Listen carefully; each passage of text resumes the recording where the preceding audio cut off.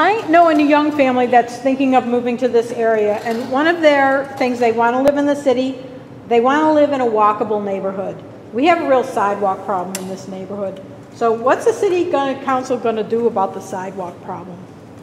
Well, right now, we're actually working on William Street to extend that sidewalk and meet all the way down to, um, where Woodrow Wilson is. To where the library used to be, you still can't walk to the library. So, talking about the new library location. Yeah.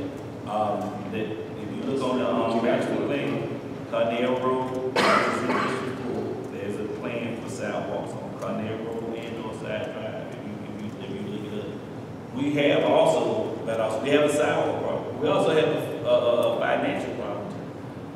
No one wants taxes raised, no one wants cuts in services, but we also want, we want things. So what we have to do is find a way to pay for it without putting the city in.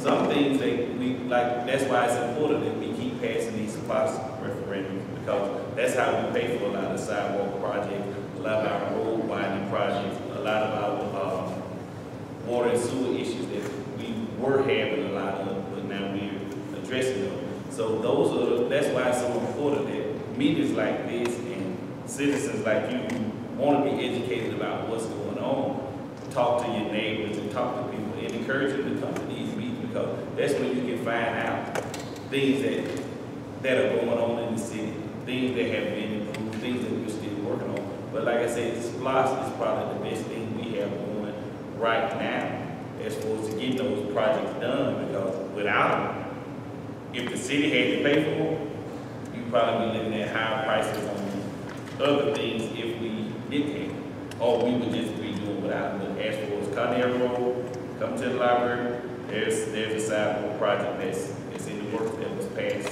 on the last last week. Yes, sir. And, and, and so, yeah, the one that's coming up, that one and Northside Drive. That's why it's important to, Let, let me, let me add a little something about sidewalks. We have built more sidewalks in the last five years than most we had anywhere else.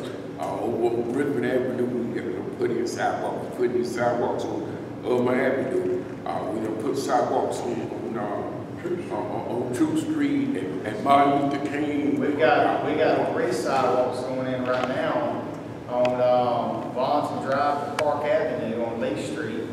Old Statenville to Griffin Avenue on Ormond Avenue sidewalk going in. The Lake Park Road, existing sidewalk to South Street that we're redoing. So, I mean, we've got a lot of sidewalks that are going in and being redone and widened At William Street, that's extending to Woodrow Wilson. And once that meets, then you got sidewalks that are going. And I think in two years, we've got sidewalks that's gonna go on Oak Street where they kind of came up one way and you got it where it stops at, I think it's Alden, if I'm not mistaken. They're gonna extend that sidewalk right all the way down to, to Woodrow Wilson bypass, that, that Woodrow mm-hmm. Wilson cut through. They're gonna extend all the way down to the school, which means, I've already talked to them about my mailbox. But it's gonna stand all the way down and and I'm, and I'm walking it. I was like, look, come take my mailbox, you know? We need sidewalks all the way down there. So once you get that, you make a right turn and now all of a sudden you're all connected and you start, things are starting to happen and sidewalks are going in. It's just a matter of, we're trying to, we're trying to do it, like, like Councilman Howard said, we're trying to do it within a budget without raising the millage rate. Because, I mean, we can do a lot of things if we just keep raising the rate, you know, we can definitely do that, but we don't want to do that. We want to keep it low, so everybody's happy. But at the same time, we're trying to spread what we've got out and hit different, and and whenever they do this, I will tell you, there's, there's seven districts. And when they do this, they look at all the districts, okay, six Right. districts and seven is county at large, okay, city large. But when they do this, they look at everybody's projects and they think, okay, in District Five, we had this, in District Six, we had this, in District One, this was done. And they try to make sure they spread it out so that everybody gets a little piece of the pie, at least every year, if not every other year. So I may not have anything this year happening in my district except for the, you know, your 2019 L- LMIGs that are going on here, which is dark line, which is resurfacing, and that's fine. I need some resurfacing done. But two years from now, I'm gonna get a nice sidewalk put in. you know, so it's kind of, Before we, you know, so it's kind of one of those, you have to, so we are. But look, y'all can go to our website and see every bit that's going on. um, Ms. Thank you. Sandra,